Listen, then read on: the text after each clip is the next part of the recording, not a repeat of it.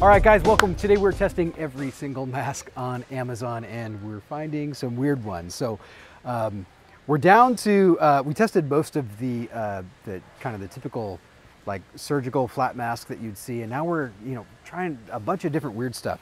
I found these uh, Honeywell uh, disposable dust masks on Amazon and, and they're not claiming sort of, I don't see, do you see anything in the listing? I don't think they're claiming anything that you should wear this to protect yourself from something like the coronavirus. Um, it does look like a lot of N95 masks, but this is not an N95 mask. And I love the packaging. It's got a great box, and then the masks are sealed uh, on the inside, which I think is really cool. It's not a medical product, so they don't have to do that, but I, but I love that.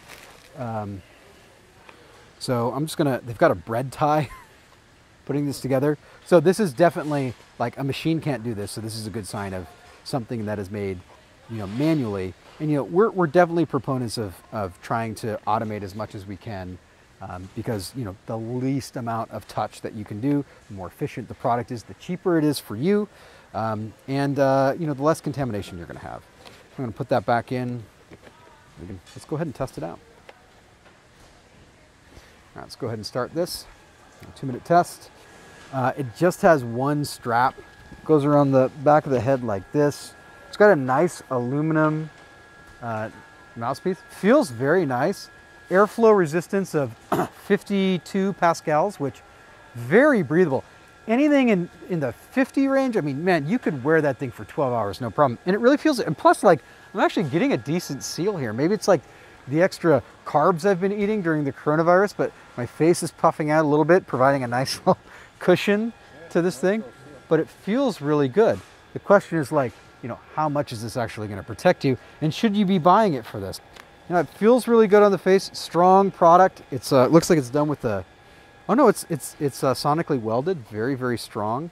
Um, you know, obviously it's back of the head, so it didn't really hurt at all. And you know, what do you think that something like this would do? Now, now I will say, I just want to give you a little heads up. We want to see this thing. We want to see masks that protect us to be above what? 95%. 95%. Now, this thing is labeled as a dust mask. Dust mask is 2.5 microns in size. Mm -hmm. This thing is testing at 0.1 microns. This is okay. the only mask that we've ever tested that's been worse than a gaiter. 8.671%. 8.671%. That's pretty low. So that comfort and that breathability, well, that comes at a cost. Hey, I hope you enjoyed this video as much as we clearly have enjoyed making it.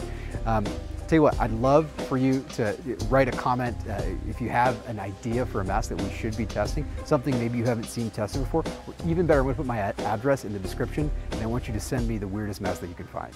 And I'll give you a shout out on the next video that we do. Thanks so much and we'll see you at the next test.